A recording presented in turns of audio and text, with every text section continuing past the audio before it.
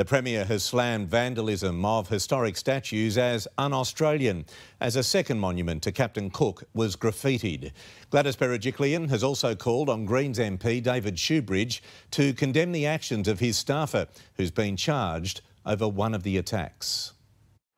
Seeped into the sandstone of Randwick's Captain James Cook Monument, the stains of a familiar message no pride in genocide and sovereignty never ceded. Sprayed on the same night his Hyde Park statue was vandalised with the same words. It's very un Australian, it's disrespectful and it's wrong.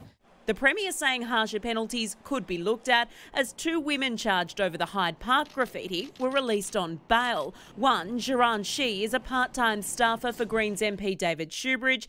Today he chaired a committee scrutinising the government's response to COVID 19 but wouldn't respond to allegations against Shi. Does he tolerate this type of breaking the law or not? And I think it's appropriate for a Member of Parliament to express on the record that it's not okay to break the law, no matter how strongly you feel about something. Police don't believe the graffiti at Hyde Park and this incident here at Randwick are linked, but they're hoping that because this is such a busy intersection, that someone might have seen something.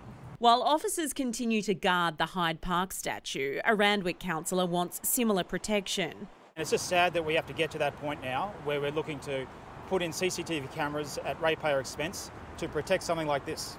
A Captain Cook statue in Melbourne also defaced part of worldwide destruction. There are these, these aspects of Australian history, and especially of Indigenous history, which haven't actually been properly discussed. And now is an opportunity to, to do this.